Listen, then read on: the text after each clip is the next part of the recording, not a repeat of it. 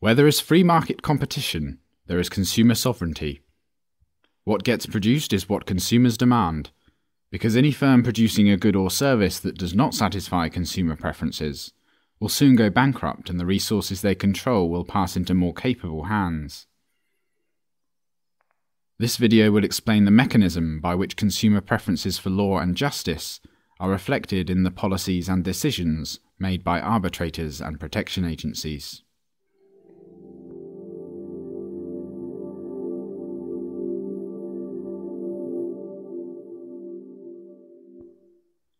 There are two potential sources of conflict between protection agencies. We previously looked at a conflict about circumstances.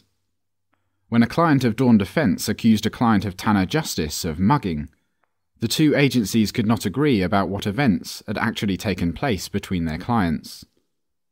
They hired a mutually agreed upon arbitration firm to peacefully settle this disagreement about facts. There was no disagreement about principles. Dawn Defence insisted on punishing Bill with a fine of $10,000, and Tanna Justice had no objection about the suitability of this punishment. But what if they did object? Suppose Tanna Justice felt that Bill should only be fined $5,000. How are the two firms going to resolve this conflict? Both firms will want to avoid war, because war is expensive and their customers are free to desert them and subscribe to their cheaper and more peaceful competitors. Instead of violence, they will negotiate with each other to reach a peaceful settlement. Whether they settle on 5,000 or $10,000, or compromise at something in between, will depend on their respective bargaining power. And this bargaining power depends ultimately on the consumers.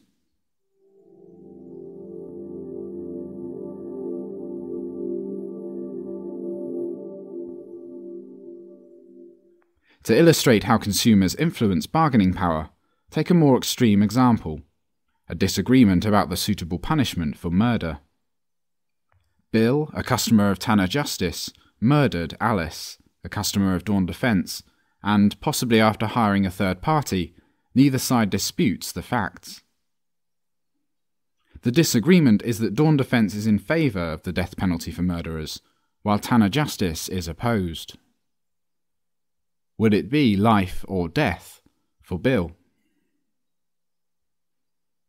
It seems as though one protection agency is going to lose out here.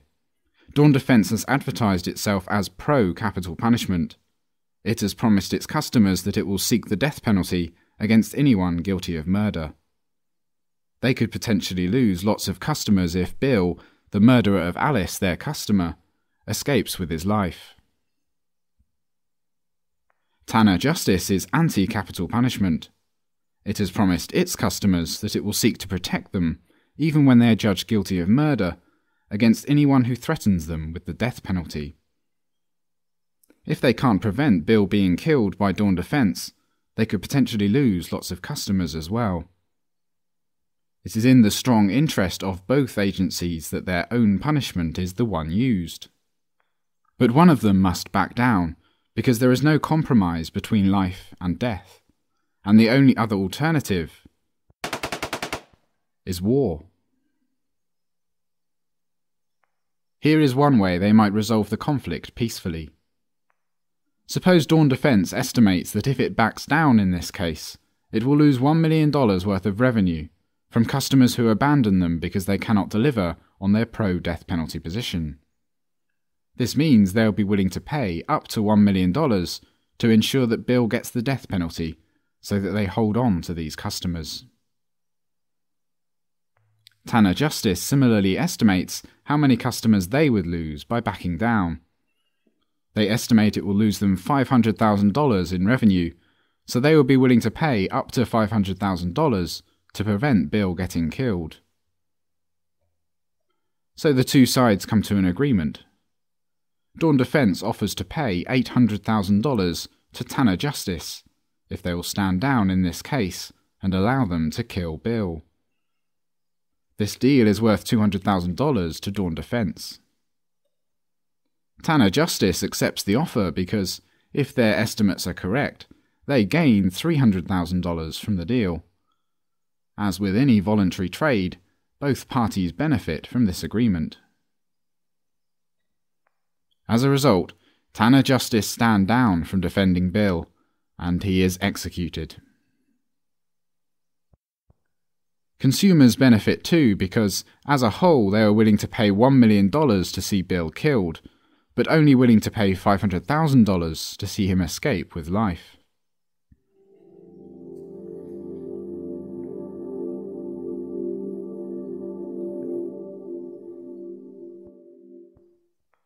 We have looked at a conflict about principles, where there is a fundamental disagreement about what punishment is suitable.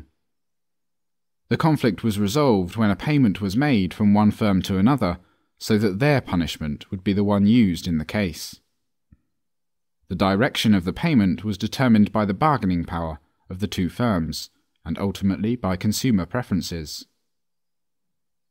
If the two firms are large and well established, they will likely have an advance agreement on what to do when there is a murder between their clients. It may be that Dawn Defense makes annual payments to Tanna Justice, so that capital punishment is used in every case. If we posit additional security firms, some pro capital punishment and some anti, a network of payments will emerge, with each firm calculating how much a favourable agreement with another firm is worth to them. On other issues, such as what is the suitable punishment for mugging, the pattern of payments may look very different. The pattern is ultimately determined by consumer preferences. One of the many areas in which the protection agencies compete with each other is in how successful they are at getting their advertised punishments enforced against clients of other firms.